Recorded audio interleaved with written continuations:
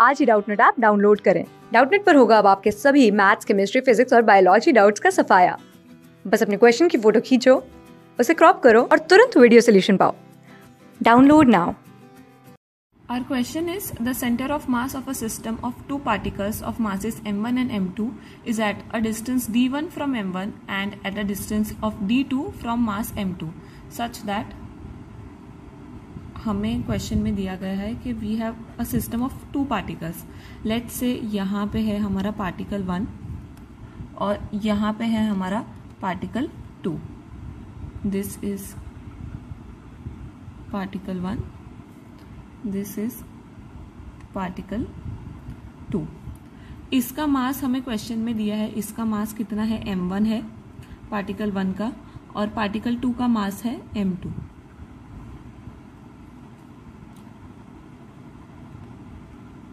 अब दिया गया है कि इसका सेंटर ऑफ़ मास होगा। तो पार्टिकल वन से ये डिस्टेंस कितना होगा? डी वन और पार्टिकल टू से ये डिस्टेंस कितना होगा? डी टू अब we know that the product of mass and distance from center of mass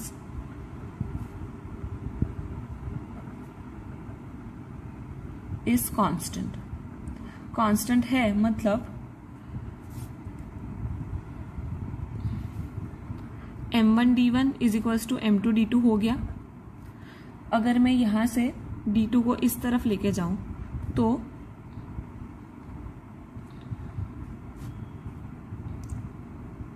D one by D two का वैल्यू क्या आ गया मेरा?